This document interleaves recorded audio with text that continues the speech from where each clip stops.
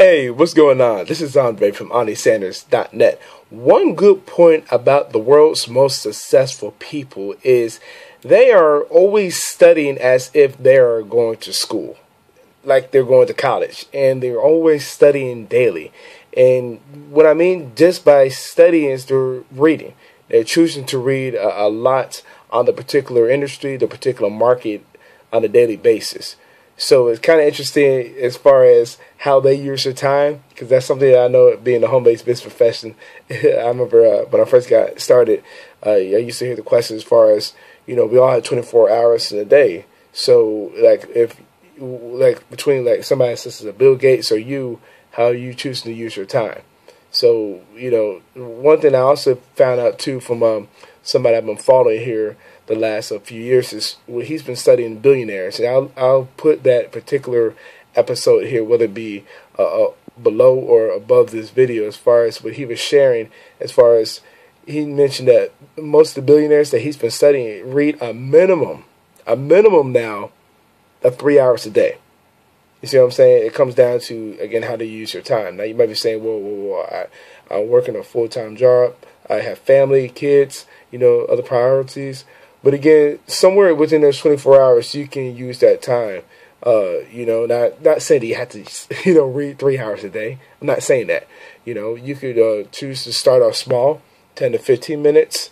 Uh, I know the last three years, personally, I've been I've chosen to read at least 30 minutes a day. I remember reading a post from a, a marketer a few months back where uh, Grant Cardone, he mentioned, you know, 88% of the world's wealthy read at least 30 minutes a day. And then he asked, you know, what are you reading? But, you know, just throwing out there as far as who they're choosing to, again, uh, you know, help better serve. And again, it's like they're going to school themselves, get ready for the next chapter of their life. Because always, you know, studying and uh, always, uh, again, reading on the market, the industry, whatever. I know when I was reading also, uh, uh, Why We Want to Be Rich, the book collaborated with uh, Robert Kiyosaki and Donald Trump uh, Donald Trump mentioned that he reads in the morning. Now, I did not know that he reads at least 33 hours a day. You know, found out also too that Warren Buffett reads at least six hours a day. And there was another millionaire I found out too that he reads about six hours a day. So it's kind of interesting because we do choose to do things such as that.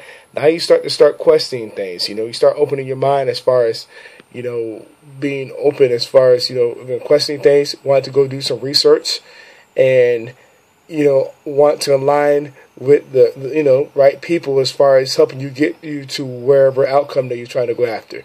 You see what I'm saying? But it all comes down to just something just really uh, simple as choosing to just you know just work on themselves daily. You know, and it can be reading, listen to audio, uh, uh, whatever. But it's just interesting when you just just pick up that book, you know, or today's time, you know, an ebook, something something online we can read, you know, use your phone, whatever, and just going through uh, those pages. Not going to tell you how many pages. Me personally, I'm a slow reader, so you know, within those few minutes, you know, those 30 minutes.